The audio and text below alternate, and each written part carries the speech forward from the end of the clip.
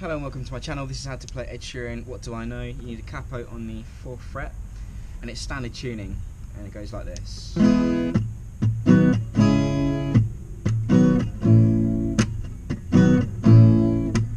So that's C, G, A minor, G, F, G, F, G, C, G, A minor,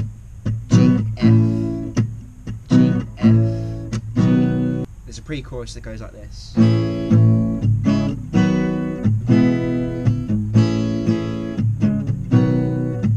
that's F, A minor, G, C, F, A minor, G, C, F, A minor, G, C. And then after that, it just goes back into what we were doing for the verse and it just repeats for the rest of the song. Good luck.